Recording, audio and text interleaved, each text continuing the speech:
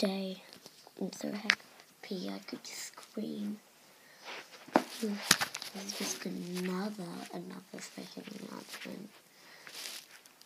My last special announcement said it was tomorrow. My last special announcement is that Ruby sent my name.